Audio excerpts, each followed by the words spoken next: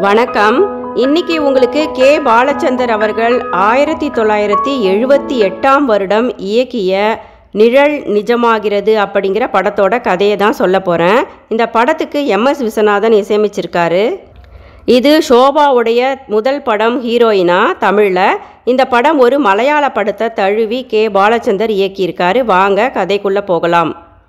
இந்துமதிக்கு இருபத்தி ஏழு வயது இருக்கும். இன்னும் திருமணமாகலை இந்துமதிக்கு வெங்கடாச்சலம் என்னும் முப்பது வயதுள்ள அண்ணன் மட்டும்தான் இருக்காரு. பெற்றோர்கள் கிடையாது. ஆனால் ஏகப்பட்ட சொத்துக்களும் வசதியும் உண்டு. இந்துமதியை முதல் முதலாக பெண் பார்க்க வந்த வரன் இந்துமதியை பிடிக்கவில்லை என்று சொல்லிவிட்டு சென்று விட்டனர். இதனால் இந்துமதி ஆண்களையே வெறுக்க ஆரம்பித்து விட்டாள். சின்ன குழந்தைகளுக்கென்று தனது வீட்டிலேயே ஒரு நடனப்பள்ளியை நடத்தி வருகிறாள் இந்துமதி. இயற்கையிலேயே இந்துமதிக்கு மிகவும் பிடிவாத குணம். தான் நினைப்பது சொல்வதுதான் சரி என்ற அகம்பாவமும் அவளுக்கு உண்டு. அவளின் இந்த குணத்தால் இந்துமதியை அனைவரும் மதிப்பு கொடுத்து மரியாதையாக வயதானவரை நடத்துவது போலவே நடத்துவார்கள். முதிர் கண்ணியான தன்னை யாரும் அவமானப்படுத்திவிடக் கூடாது என்று இந்துமதி தனக்குத்தானே போட்டுக்கொண்ட முகமூடிதான் அவளுடைய கோபம். இந்துமதியின் அண்ணன் வெங்கடாச்சலம் எல்லோருக்கும் மதிப்பு கொடுப்பார். அன்பாக எல்லோரிடமும் அடங்கி அடக்கமாக நடந்து கொள்வார். ஊரில் எல்லோருக்கும் வெங்கடாச்சலத்தை மிகவும் பிடிக்கும். வெங்கடாச்சலம் நல்ல ஒரு வேலையில் இருக்கிறார். அவருக்கும் இன்னும் திருமணமாகவில்லை. இந்துமதியின் வீட்டிற்கு கிராமத்திலிருந்து திலகம் எனும் பதினாறு வயதுடைய தாய் தந்தை இல்லாத அழகான ஏழை பெண்ணொருத்தி வீட்டு வேலைக்கு வருகிறாள். சமையல் முதற்கொண்டு வீட்டின் மொத்த வேலைகளையும் செய்ய ஆரம்பித்து விட்டாள் திலகம். திலகம் மிகவும் சந்தோஷமான சுபாவமுடையவள். சின்ன சின்ன விஷயங்களுக்கும் மகிழ்ச்சி சிரிப்பு சுறுசுறுப்பு அவளுடையது. எதை பற்றியும் கவலைப்பட மாட்டாள் எல்லோர் மீதும் அன்பு பரிவு தன்னை ஒரு ராணியைப் போல அவ்வப்போது கற்பனை செய்து கொண்டு சந்தோஷப்படும் அளவுக்கு சுய கௌரவம் உடையவள் திலகம். அதே வீட்டில் பல வருடங்களாய் எடுபிடி வேலை செய்து கொண்டிருப்பவன் காது கேட்காத காசி. அவனுக்கும் முப்பது வயதுக்கு மேலே இருக்கும் சரியான வெள்ளந்தி கடின உழைப்பாளி. காதுதான் கேட்காது. ஊனமுற்று உழைத்து வாழும் காசியை யாரும் மதிப்பதில்லை. திலகம் அவன் மீது பரிவு காட்டுகிறாள் முதல் முதலாக. செவிடனுக்கு சந்தோஷம் தருகிறது இதனால். மனதுக்குள் திலகத்தை விரும்ப ஆரம்பிக்கிறான் அந்த செவிடன் காசி. சிறு சிறு பரிசு பொருட்களை வாங்கி தந்து திலகத்திடம் தன் காதலை வெளிப்படுத்துகிறான் காசி. ஆனால் திலகம் புரிந்தும் அவனது காதலை ஏற்கவில்லை. ஆனால் பழையபடி நட்பாக பரிவுடன் காசியிடம் பழகுகிறாள் திலகம். இப்போது வெங்கடாச்சலத்தின் நண்பன் சஞ்சீவி முப்பது வயது இருக்கும் அவனுக்கும் அவனுக்கும் திருமணமாகவில்லை. தாய் தந்தையும் கிடையாது. நல்ல ஒரு கவர்மெண்ட் வேலையில் இருக்கும் சஞ்சீவி இதே ஊருக்கு மாற்றலாகி வந்து விட்டார். நண்பன் வெங்கடாச்சலத்தின் எதிர் வீட்டிலேயே சஞ்சீவி குடிவந்து விட்டார். பேச்சுலரான நண்பன் சஞ்சீவியை தனது வீட்டிற்கு சாப்பிட அழைக்கிறான் வெங்கடாச்சலம் சஞ்சீவி கலகலப்பான நேர்மையானவன் முகத்துக்கு நேரே பேசுபவன் ஒடுக்கப்பட்ட ஏழைகளுக்கு குரல் கொடுக்கும் குணமுடையவர் சஞ்சீவி. சஞ்சீவி சாப்பிட வந்த முதல் நாளே நண்பன் வெங்கடாச்சலத்தின் தங்கை இந்துமதியை கவனித்து பார்த்து அவளது குணங்களை புரிந்து கொள்ள ஆரம்பித்து விட்டார்.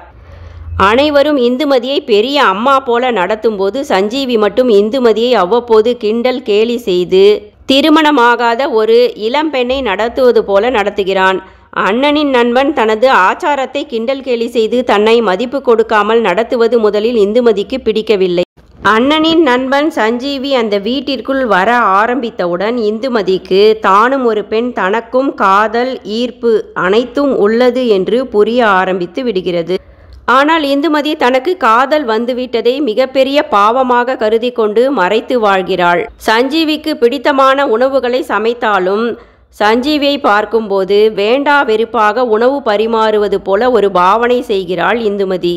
ஒருமுறை சஞ்சீவி விட்டு சென்ற சிகரெட் லைட்டரை அவன் ஞாபகமாக பத்திரப்படுத்தி மறைத்து வைக்கிறாள் இந்துமதி. இதனை கண்டுபிடித்து விட்டார் சஞ்சீவி. எல்லாம் புரிந்து போகிறது. இந்துமதி தன்னை விரும்பினாலும் மறைப்பதை அறிந்து கொண்டார் சஞ்சீவி. இந்துமதியிடம் தனது சிகரெட் லைட்டரை கேட்டு அவளை எதிர்பாராத விதமாக கட்டிப்பிடித்து விடுகிறார் சஞ்சீவி.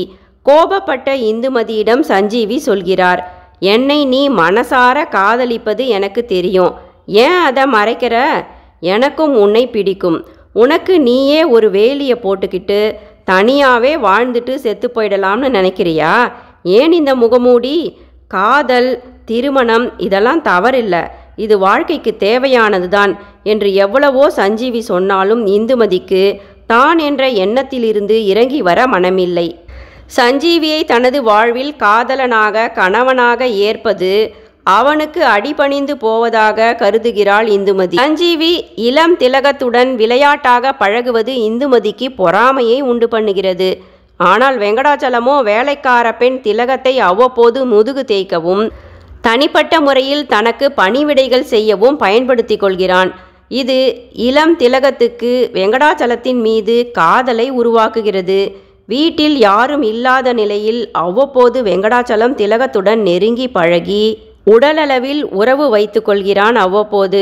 பதினாறே வயதுடைய திலகத்துக்கும் அது சந்தோஷத்தை தருகிறது. இவர்களது உறவை ஒருமுறை செவிடன் காசி பார்த்து விட்டார். மனம் வேதனைப்பட்டு யாரிடமும் எதையும் சொல்லாமல் காசி வேலையை விட்டே நின்றுவிட்டான் பிறகு காசி சஞ்சீவியிடம் சென்று வேலை கேட்டு சஞ்சீவியின் சிபாரிசில் தனக்கேற்ற ஒரு நல்ல வேலையில் இப்போது செவிடன் காசி சேர்ந்து விட்டான். இப்போது திலகம் கர்ப்பவதி ஆகிவிட்டாள் வெங்கடாச்சலத்திடம் சென்று தனது கர்ப்பத்தை பற்றி திலகம் தெரிவித்தவுடன் பயந்து போனான் வெங்கடாச்சலம். தனது குடும்ப கௌரவம் ஆச்சாரம் இதெல்லாம் இப்போதுதான் வெங்கடாச்சலத்திற்கு ஞாபகத்திற்கே வருகிறது. வெங்கடாச்சலம் திலகத்திடம் சொல்கிறான் உன் கர்ப்பத்துக்கு நான் தான் காரணம் என்று நீ யாரிடமும் சொல்லக்கூடாது.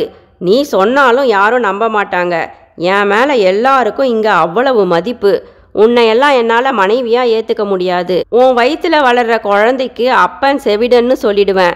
உங்கள் ரெண்டு பேருடைய உறவை நான் பார்த்தேன்ட்டு எல்லார்கிட்டையும் சொல்லிடுவேன். மேலும் பணம் சொத்துக்காக என் மீது பழி போடுவதாக எல்லோரிடமும் நான் சொன்னால் அனைவரும் நம்பி விடுவார்கள் என்று வெங்கடாச்சலம் சொன்னவுடன் பதினாறே வயது நிரம்பிய திலகத்துக்கு பயம் வந்து இப்போது தான் ஏமாற்றப்பட்டதை அறிந்து தன்னுடைய விதியை நொந்தவாறு யாரிடமும் எதையும் சொல்லாமல் ஊமையாகி போனால் திலகம். இந்துமதி திலகத்தின் கர்ப்பத்தை அறிந்து திலகத்தை திட்டி வீட்டை விட்டே விரட்டி விடுகிறாள்.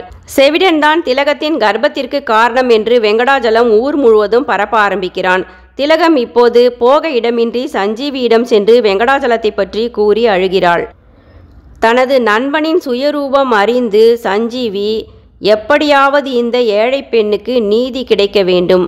அதே சமயம் வெங்கடாச்சலத்தின் வாயிலிருந்தே திலகத்தின் குழந்தைக்கு தகப்பன் தான் தான் என்று வரவழைக்க வேண்டும் என்று யோசிக்கிறார் சஞ்சீவி. அதன்படி சஞ்சீவி ஒரு சிறிய வீடு ஒன்றை வாடகைக்கு எடுத்து பண உதவி செய்து திலகத்தை அங்கே தங்க வைக்கிறார். திலகத்துக்கு துணையாக செவிடன் காசியையும் உடன் இருக்க சொல்கிறார் சஞ்சீவி. சஞ்சீவி திலகத்துக்கு அடைக்கலம் கொடுத்தது இந்துமதிக்கோ பிடிக்கவில்லை. சஞ்சீவி இந்துமதியிடம் சொல்கிறார் நான் யாருக்கு உதவி செஞ்சா உனக்கென்ன? நீ தான் என்ன காதலிக்கலையே. நீ இப்படியே கோலம் போட்டு கோயில் கோயிலாக சுற்றிக்கிட்டு கிழவி ஆக போகிற உனக்கு இப்போவே வயசாயிடுச்சு. உன்னால் உன் அண்ணன் வெங்கடாசலமும் திருமணமாகாமல் தவிச்சுக்கிட்டு இருக்கான். அதை பற்றியெல்லாம் உனக்கு கவலை கிடையாதே? என்று சஞ்சீவி கோபமாக எடுத்து சொல்லியும் இந்துமதிக்கு இன்னுமே புரியவில்லை. இப்போது சஞ்சீவிக்கு வேலையில் மாற்றலாகி வேறு ஊருக்கு சென்று விடுகிறார்.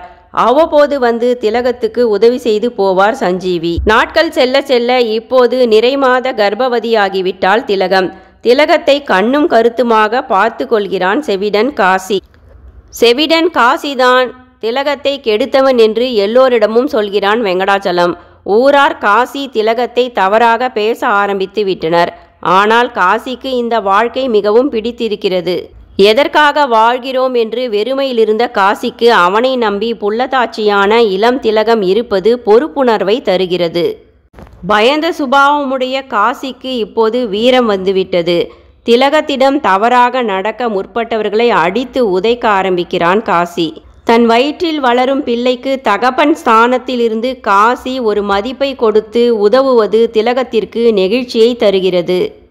செவிடன் காசியின் துணிமணிகளை துவைத்து உணவு பரிமாறி திலகமும் செவிடனை மதிப்புடன் நடத்த ஆரம்பித்து விட்டாள். தினமும் இரவு தனது நிலையை எண்ணி திலகம் அழுவது காசிக்கு வருத்தத்தை தருகிறது. பெரிய அரிவாள் ஒன்றை எடுத்து சென்று வெங்கடாச்சலத்தை பயமுறுத்தி செவிடன் காசி சொல்கிறான் சரியான கோழை நீ உன்னால பாவம். வயத்து புள்ளதாச்சியான அந்த சின்ன பொண்ணு திலகம் அழுதுகிட்டே இருக்கா. எனக்கு வாழ்க்கையில் இதுக்கு மேலே எதுவுமே கிடையாது. நான் எதுக்கும் அஞ்ச போகிறதில்ல நீ அவளை ஏற்றுக்கலைன்னா உன்னை வெட்டி கொன்னுட்டு நான் ஜெயிலுக்கு போகவும் தயாராக இருக்கேன் யோசிச்சுக்கோ. என்று காசி சொன்னவுடன் வெங்கடாஜலத்துக்கு இனி தப்பிக்கவே முடியாது என்று தோன்ற ஆரம்பித்து விட்டது. திலகத்துக்கு ஆண் குழந்தை பிறந்துவிட்டது அவளுக்கு எல்லாமுமாய் இருந்து செவிடன் காசியே காப்பாற்றுகிறான். குழந்தையையும் நன்றாக கவனித்து சீராட்டுகிறான் காசி. குழந்தையை பார்க்க ஊரிலிருந்து வந்த சஞ்சீவி நண்பன் வெங்கடாஜலத்திடம் சென்று இனி நீ ஏமாத்த முடியாதுப்பா குழந்த உன்னோடது தான் என்று எனக்கு தெரியும். நீ திலகத்தை ஏற்றுக்கிட்டு தான் ஆகணும். நான் இந்துமதியை காதலிக்கிறேன். அவளும் என்ன காதலிக்கிறான்னு எனக்கு தெரியும். உன் தங்கச்சி இந்துமதியை நான் திருமணம் செஞ்சுக்கிறேன். நீ திலகத்தை ஏற்றுக்கணும் அப்படின்னு சஞ்சீவி சொல்கிறாரு அண்ணன் வெங்கடாச்சலம் தான் திலகத்தின் குழந்தைக்கு தகப்பன் என்று அறிந்து முதலில் அதிர்ந்தே போனால் இந்துமதி. பின்னர் மேலதாளத்துடன் திலகத்தையும் குழந்தையையும் ஏற்றுக்கொண்டு தன்னுடைய வீட்டிற்கு திலகத்தை அழைத்து செல்ல வருகிறாள் இந்துமதி. செவிடன் காசிக்கு திலகத்தை இழக்கப் போவதை எண்ணி வருத்தமாகத்தான் இருந்தது. ஆனால் தான் விரும்பும் திலகம் தன்னுடைய காதலன் வெங்கடாச்சலத்துடன் சேர்வதை எண்ணி காசி திருப்தி அடைகிறான். வேறு வழியின்றி வெங்கடாச்சலம் திலகத்தை ஏற்றுக்கொள்ள உடன் வந்து இருந்தான். அப்போது தனக்கு வெங்கடாச்சலத்தை கணவனாக ஏற்க மனமில்லை என்று அனைவரையும் திருப்பி அனுப்பிவிடுகிறாள் திலகம். திலகம் கடைசியில் தன்னை காப்பாற்றிய செவிடன் காசியை மனப்பூர்வமாக ஏற்றுக்கொண்டாள். காசிக்கும் நல்ல ஒரு குடும்பம் கிடைத்தது. வேலைக்காரியான திலகம் தன் அண்ணனை ஏற்காமல் போனதால் சஞ்சீவி தன்னை வேண்டுமென்றே திலகத்திடம் அழைத்து சென்று அவமதித்ததாக இந்துமதி கோவப்படுகிறாள். அவளது கர்வம் கொஞ்சம் கொஞ்சமாக குறைந்து சஞ்சீவி ஊரை விட்டு கிளம்பும்போது சஞ்சீவியை தேடிச் சென்று தனது காதலை தெரிவித்து அவனுடன் சேர்கிறாள் இந்துமதி. வெங்கடாச்சலம் அனைவரிடமும் மரியாதையுடன் அன்புடன் பழகுவதால் நல்லவனும் இல்லை அவன். எளியோரை தன் இச்சைக்கு பயன்படுத்துவது மிகவும் பெரிய பாவம். அப்படிப்பட்ட பாவத்தை செய்துவிட்ட வெங்கடாஜலம் அதை எதிர்கொண்டு பரிகாரம் செய்து தைரியமாக தவறை ஏற்றுக்கொண்டு திருந்தி வாழ்வதே சரியான வழி. இந்துமதியை பொறுத்தவரை வாழ்க்கை துணையை அனுசரித்து ஒத்துழைத்து குடும்பம் நடத்துவது என்பது ஒரு பெண் ஆணுக்கு அடங்கி போய்விட்டாள் என்று அர்த்தமல்ல. ஆணும் பெண்ணும் ஒருவருக்கொருவர் விட்டு கொடுத்தே இணைந்து வாழ முடியும். நன்றி.